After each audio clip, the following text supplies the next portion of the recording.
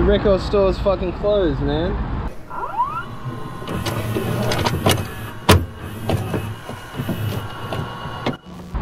Alright, we're gonna head to, um, I don't know, I'm gonna get some cigarettes. Maybe we'll head to Vinny's or something, I guess. Yeah, so pretty much I was going to go for a vinyl shop, but the vinyl shop's closed. I was gonna go to Salvo's, but Salvo's is closed.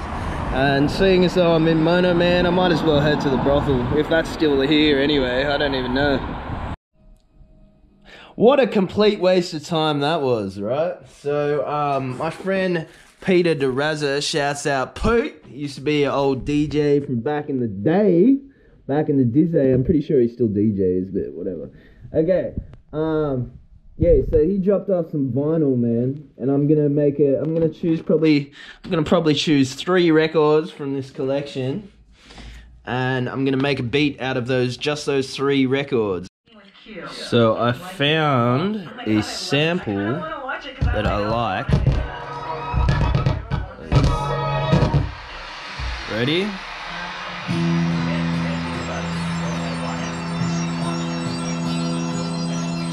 That is fucking fire! Fire right there. Okay, let's sample that. Gross meal again. And then the next morning. That's all I fucking need.